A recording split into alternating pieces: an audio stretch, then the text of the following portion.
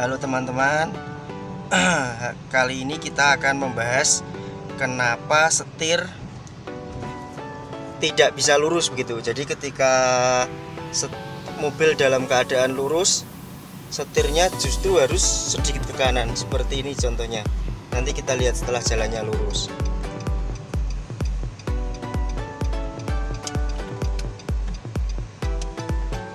Kiri kosong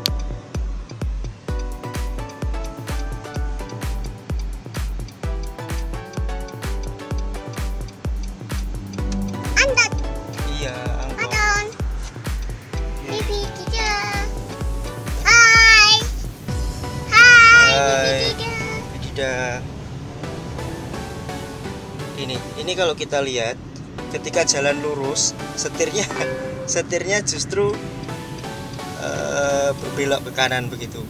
Kalau setirnya diluruskan maka mobilnya yang akan berbelok ke kiri. Coba sekarang ketika setirnya dilepaskan mobil lepaskan om. Mobil akan perlahan belok ke kiri nah ini ke kiri nih. Om udah om mobilnya ke kiri Oke ya, sudah ya, paham. Berarti uh, setir ketika mobil jalan lurus, setirnya justru harus dibelokkan sedikit ke kanan. Kalau setirnya diluruskan, maka mobil akan belok ke kiri atau sebaliknya. Begitu juga ketika setir dilepaskan, maka mobil akan uh, lari atau uh, lari baik ke samping kiri maupun ke samping kanan. Hal itu terjadi karena kaki-kakinya kita sedang tidak sinkron. Jadi entah ban kiri depan agak belok ke kanan atau ban kiri kanan agak sorry ban depan kanan agak belok ke mana begitu.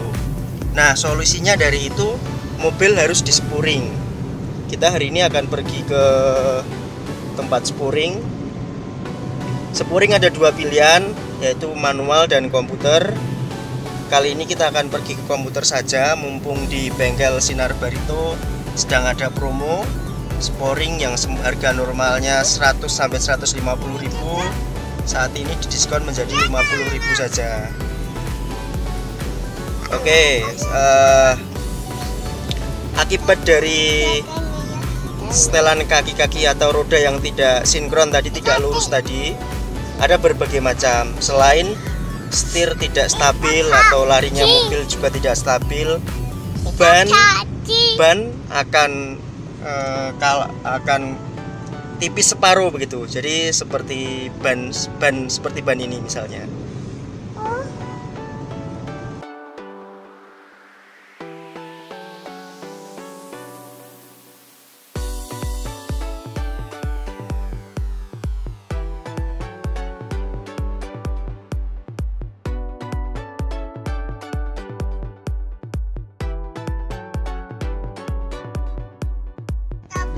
Oke teman-teman, sampai jumpa di bengkel sporing ya.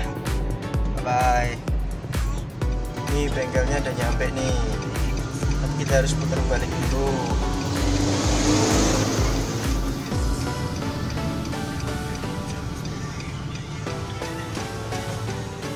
Tips Jutron pastikan mobil kita setengah jalan dulu dari halangannya setelah itu setirnya tekuk pol setelah tepuk pol maju pelan-pelan sambil nunggu yang sana kosong ya.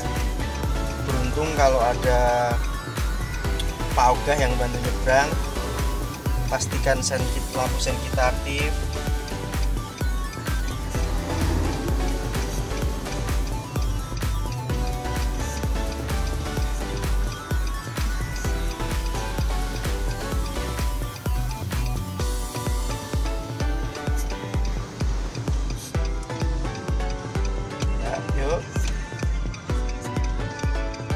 kanan.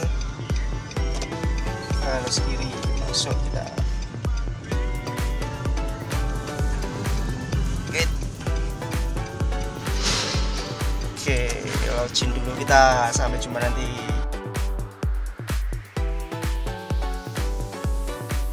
Mobil sudah ditangani oleh teknisinya. Masuk ke lokasi sporing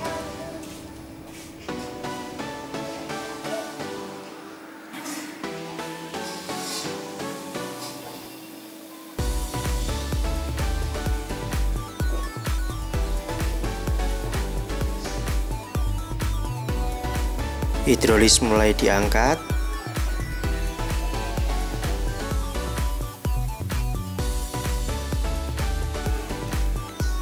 Sebelum dipasangi sensor atau ditangani oleh sporing dipastikan hardware bannya tidak ada kendala.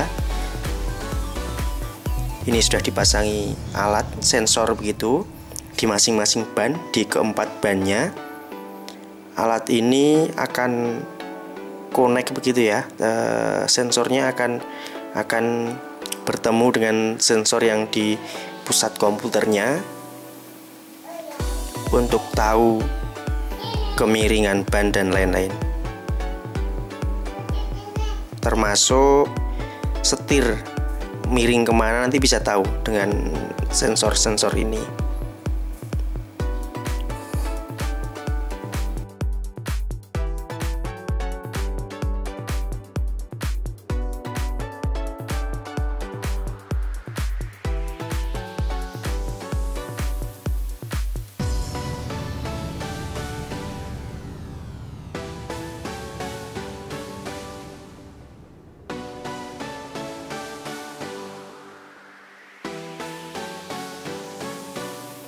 ini input data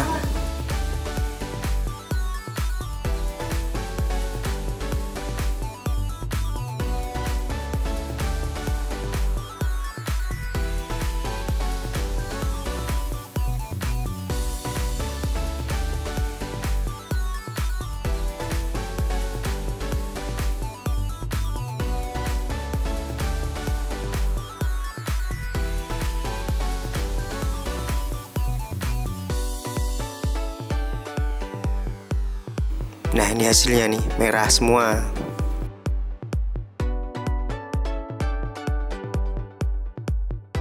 Ini sensor meminta mobilnya untuk dimajukan.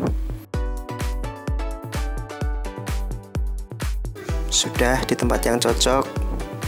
Terbaca itu apalagi yang merah-merah itu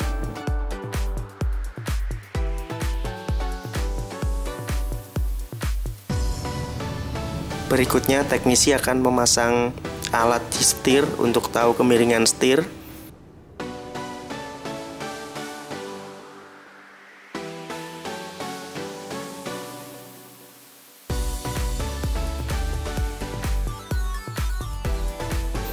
Lalu ban depan ya, terutama akan dibelokkan mentok ke kiri dan mentok ke kanan supaya nanti sensornya juga akan terbaca. Jadi ini mengambil data semua di komputer di software sana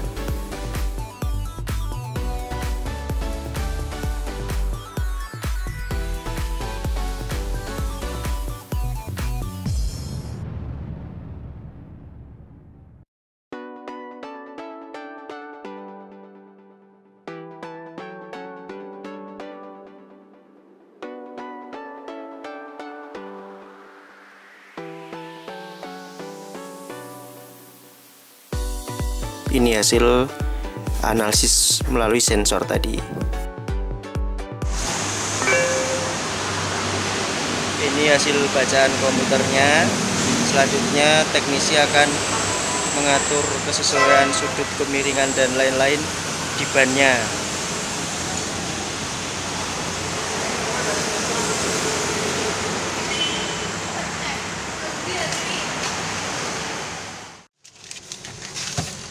sudah selesai tidak ada 15 menit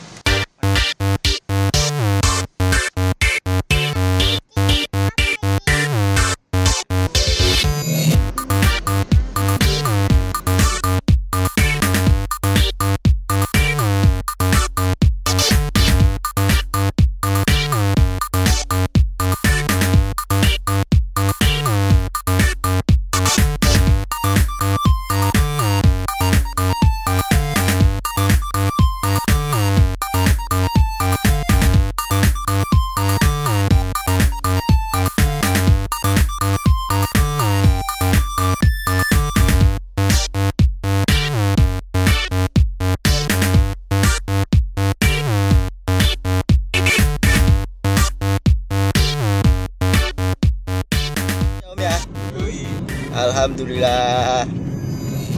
Enak dah om. Udah enak dah om. Oh,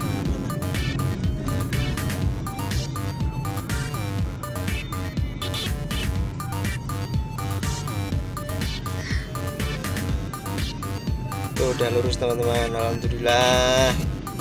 Kayak gini kok nunggu bannya. Kotak separuh dulu ya. Baru sporing ke ya. Padahal ya itu kerasa seharusnya. Kerasa sudah lama. Tapi ya itu harus nunggu bannya habis dulu baru bergerak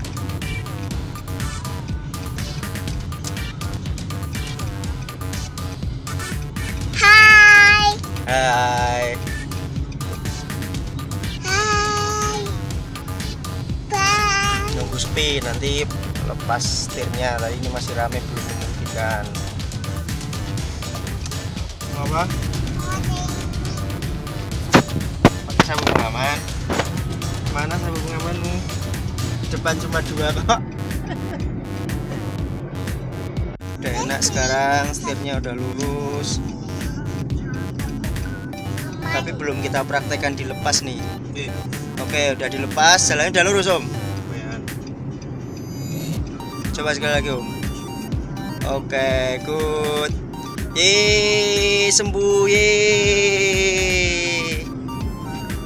Sudah jadi Spuringnya 100.000 Diskon 50 Jumlah ti- 50 Plus tambahan pompa tadi Gas nitrogen Dua roda 10.000 Jadi total 60.000 Oke, Alhamdulillah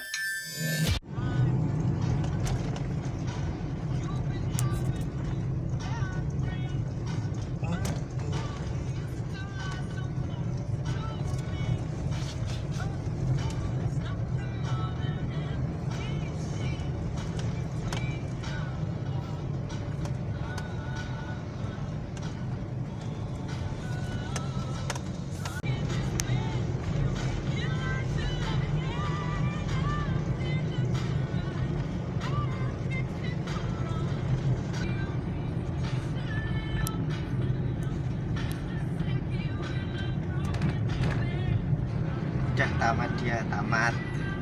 Tamat